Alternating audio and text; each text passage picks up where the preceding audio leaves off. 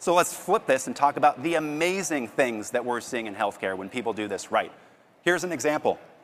I call this tech support. This is a patient that's having a lot of trouble joining their virtual visit. Help! Literally, this, is, this has all been cleansed and anonymized, right? But this patient literally texted in, help, I'm having trouble logging in. My favorite part of this is they were just off by a week, right? Poor patient, right? Simple thing to solve for. Here's another one.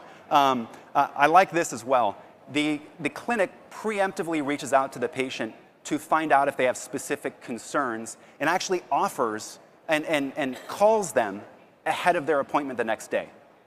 Can you imagine being that patient, how special and wonderful you would feel and how loyal you would feel to that, that health system?